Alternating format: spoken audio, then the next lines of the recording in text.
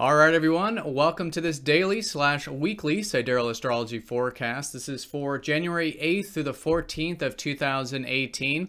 So I am going to be taking a trip for this week to visit some friends and family, um, a little mini vacation. So I am going to be putting the daily here in this video.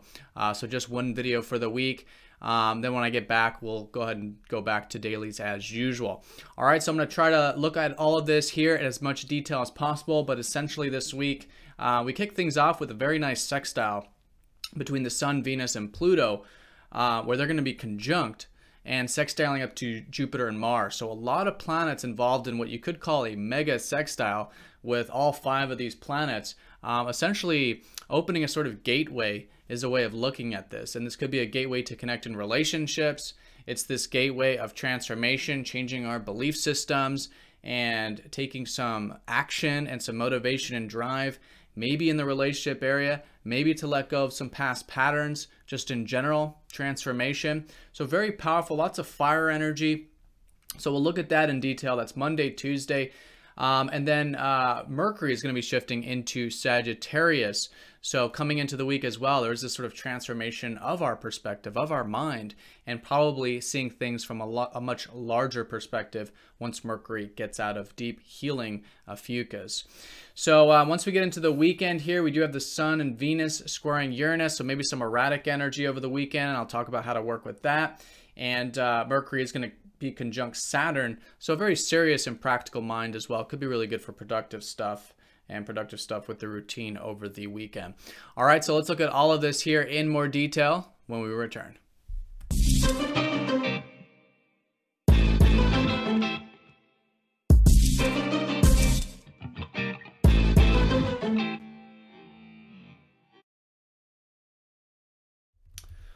All right, so let's go ahead and break this down day by day. Let's start with Monday and Tuesday, uh, because as you can see here, lots of aspects Monday and Tuesday, uh, these two days. But it's it's it's a lot simpler than it looks. Basically, what this is is it just so happens that the Sun, Venus, and Pluto.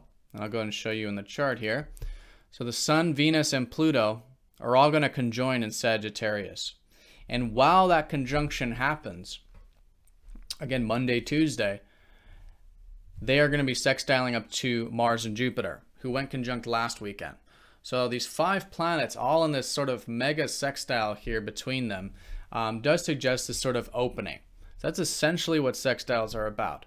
Openings, gateways, you could say. We can choose or choose not to work with this energy, but because it's conjunction involved, I think there will be this sort of push to implement it. So basically, there's a few different ways of looking at this. One from the relationship front, I think these two days we could be particularly focused on relationships in our life, wanting to relate with others, maybe a bit of passion with relationships, right? This sort of uh, sun energy engulfing Venus. So really good to bring some extra attention to just to keep make make sure everything's nice and balanced with reciprocity, give and take, equality, just because the passion or energy might be very, you know, overwhelming or very strong. So that's that conjunction. But once Pluto's involved, I think what this is most importantly going to be transforming is our belief systems in Sagittarius, this, this uh, three-way conjunction, this stellium here. So old beliefs are dying away.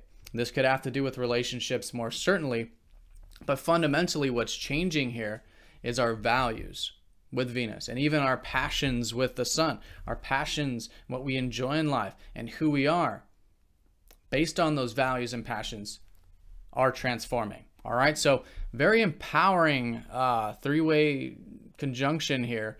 And so um, great time Monday, Tuesday to shed the old, to make way for the new. Again, fundamentally about our belief systems with Sagittarius there. And even facing some fears, that can be very empowering as well if you are feeling it from that angle. All right, so that uh, stellium there is going to be sextiling up to Mars Jupiter, who went conjunct last weekend, last Saturday. And so on the interpersonal side of things, this is that masculine, feminine energy and good harmony. Again, good for passion in relationships, things like that, just a sort of opening, a bit of uh, awareness of our personal needs, as well as a willingness to connect and hopefully have reciprocity and that sort of thing, especially with Mars and Jupiter in Libra, which is all about reciprocity, equality. We're going to be learning a lot about this in 2018, but we're likely doing that with Mars and Libra. So, um, so that's the passion side of it with the yin yang energy there. Um, but this is very motivating energy. It's very confident energy. So that can be certainly coming through all areas of life, just a bit of inspiration, confidence, motivation, and um, again, to make some change, some powerful change, perhaps just an opening here. Some change by taking action, taking initiative, change by, again, seeing things in a different light, which is a sextile to Jupiter. So it's very inspiring, it's very buoyant, especially with this stellium in Sagittarius, sextiling Jupiter, Mars over Jupiter, right? Jupiter's really expanding all of this, helping us again see the big picture. All right, so really good energy here, a sort of gateway that may require some action if you want, some initiative, some connection, some transformation of the old, right? To face some fears, empowerment. It's a very nice um, aspect we've got. So at the same time, probably a little more into Tuesday, Mercury is going to go over the galactic center and into Sagittarius. Actually, over the galactic center, probably around mon- uh, Sunday, Monday time coming into the week, but officially in Sag once we get to about um, Wednesday. Okay. So, our perspective in terms of what we've been healing um, this past month really is uh, finally culminating. All right. It's finally going through the final transformation. So, um, I think we're coming out of a very deep time with our mind. We've been learning about healing. Maybe we've been healing our mind or subconscious, things like that. And so we are going to likely notice a bit of a shift into then coming out of the deeper energy on some level, right? This is our mind with Mercury. It's not all the planets, but our, our, our mind and our perspective on things. So once we get into Wednesday, probably feeling this bit of transformation a bit. This larger perspective makes it really good for discussing the meaning of life, analyzing our life path, right? Sharing and exchanging in this way that's a little bit more open minded and maybe a bit of adventurousness, right? and maybe with our routine as well, sort of transformation to our routine of enjoying a little bit more of expansion in our life when all the fast movers, other than Mars, will be in Sagittarius. All right, so that's the um, first few days of the week.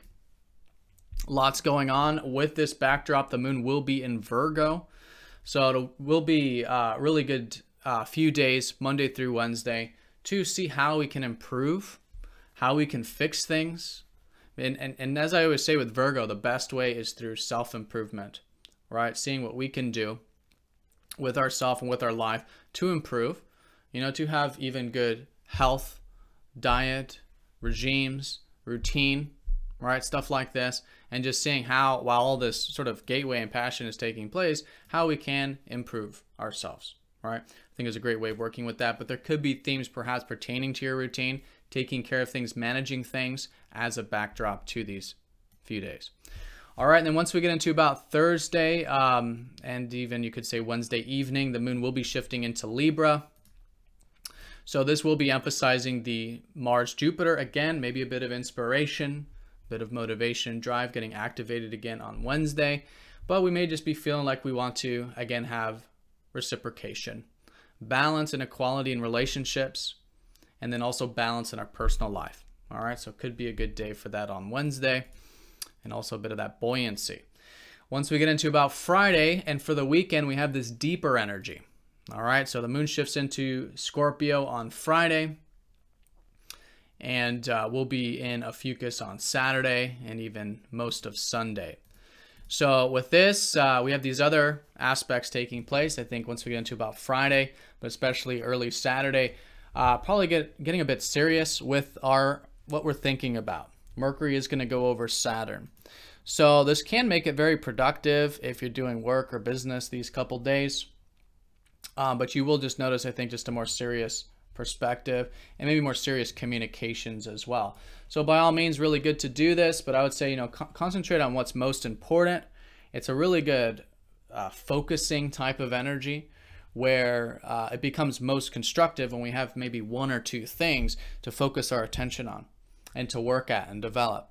And just being patient with communication. I think there will be this whole new chapter about maybe learning about, you know, the importance of grounded commitment, communication, plans, stuff like that. And then also with our routine as well. You know, maybe a new beginning about taking that seriously, our routine. All right, and then once we get into Saturday, Sunday with again this deeper energy. So it's a really good weekend with the moon in Scorpio and Ophiuchus to really uh, be open to seeing what comes up emotionally. And it's often fears with Scorpio and Ophiuchus.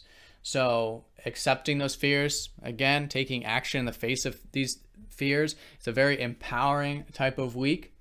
And the weekend, uh, we could be you know, there could be themes pertaining to this. So open with ourself is the most important thing. Be aware of anything that does come up and essentially accept. Right, accept any wounds, any fears, whatever that do come up, and then take action in the face of those wounds and fears, right? Especially this week because it is going to be the third quarter phase uh, of the moon coming into the week. So it really is, especially early in the week, this sort of active phase this time where we do want to challenge ourselves to initiate, to take action, and maybe particularly to the insights we gained during the last new moon a week ago. All right, last week, the week before this, or that full moon. But um, anyways, about the uh, weekend, really good here for that depth uh, with ourself and that openness and acceptance can help us bring in more vulnerability with ourself, with life, with relationships, and really connect to life in that more meaningful and deeper way. All right, so that's the kind of serious thing there. Uh, but then there's also this erratic energy about Saturday, Sunday. Uh, the Sun Venus conjunction will be squaring up to Uranus. So, um, yeah, there could be some unexpected things, maybe in relationships, or maybe we're just dealing with individuals or people, or our relationships are just a bit flighty. Um, so maybe hard to deal there with relationships, or there's something uneasy about them. Um, with the sun square up to Uranus, there could be a bit of frustration, maybe impatience with wanting to uh, break free in some way. So if you do feel this erratic energy of Uranus, really good to, um, as I always say, bring some conscious attention to that and then take things nice and slow and steadily, especially if it does involve relationships or finances, uh, values. Good to stay nice and grounded versus making any sudden choices or decisions, which uh, would be more of a reaction of wanting to break free. But listen to that freedom, and I think the freedom really is about uh, letting go of what's outside of our control, which is Uranus and Pisces, being a little more present as we all can be, um, and enjoying life in the now moment, and kind of working at that constructively, right? And anything you can do to sort of, um, you know, calm the self if you are feeling a lot of that erratic energy, can also be constructive as well. But listen to the freedom because there is some maybe change, something you want to do to, you know, have more freedom and cultivate your life in a way that's more of an expression of who you are. Uh, but just again, in constructive ways is the healthiest way of working with this. All right, and then once we get into uh, Sunday evening, the moon goes over the galactic center into Sagittarius. So as we get into next week, a bit more of that feeling a little more expansive. The moon will be joining up with the other um, planets in Sagittarius, and then early next week we do have this uh, new moon. So new beginnings are around the corner. I would say this weekend probably good to um, uh, notice the energies are dying down a bit. Maybe get in touch with our intuition. Maybe a little bit of rest, especially Sunday going into Monday. That type of thing. Even though again there's that erraticness or whatever this uneasiness is with the square 2 Uranus. But uh, especially early next week, particularly Monday, Tuesday, etc uh, really good for the meditation, spiritual activities, getting some rest and stuff like that for the new beginnings. All right, so that is the week in a nutshell. I think I've pretty much covered it. Um, this could also be a healing weekend on a minor note with sextiles up to Chiron. It could be quite rejuvenating, actually, uh, with that stuff that we could be uncovering on that deeper level. But yeah, let me all uh, let me know if uh, any of you have any questions. Um, I'll be able to answer them before I go. But have a fantastic week. Um, hope this video was helpful, and I'll see you all very soon when I return next week. All right, take care.